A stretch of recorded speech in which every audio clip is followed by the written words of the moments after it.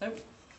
Okay, we're back Okay, with. Carolyn Smith, and we're looking at meteorites at the Natural History Museum, London.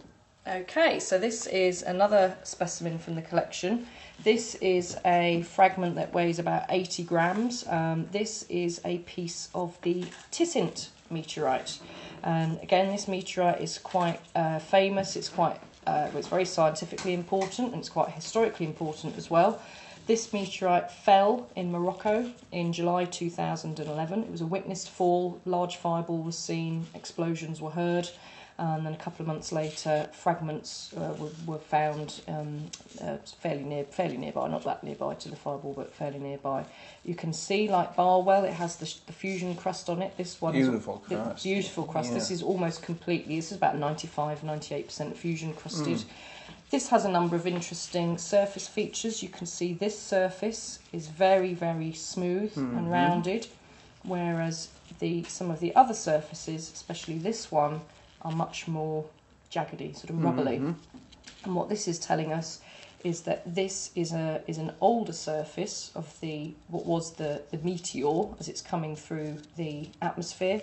Meteorites only become meteorites once they land on the ground. Whilst they're still in the air, we call them meteors.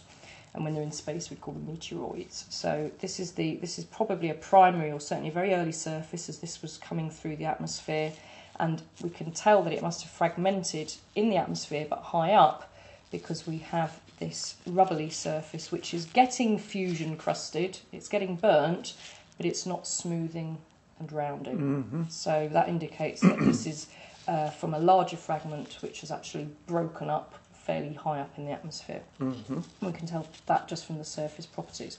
Now, why this is an interesting meteorite is because this is a meteorite from Mars.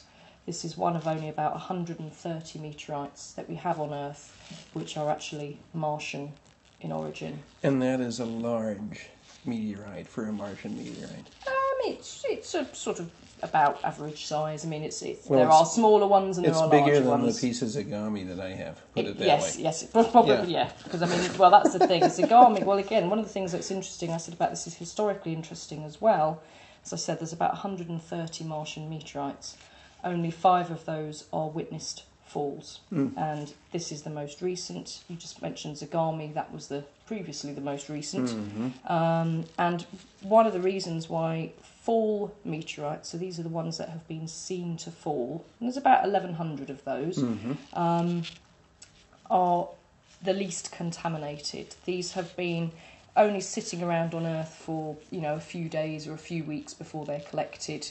Um, and so they are the least contaminated of all meteorites. So if you're doing things, for example, if you're interested in studying anything really, you know, like organic molecules or, or anything like that, you want to get your hands on the least contaminated meteorites. And in fact, that's why I'm wearing gloves.